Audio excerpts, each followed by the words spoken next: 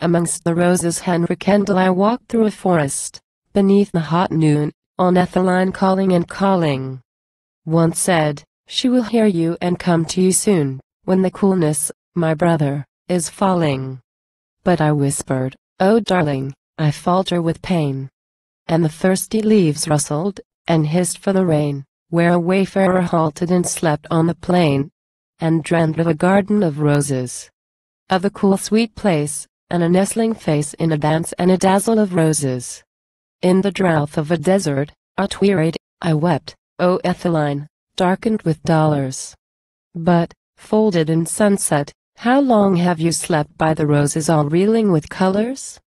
A tree from its tresses a blossom did shake, it fell on her face, and I feared she would wake, so I brushed it away for her sweet sake.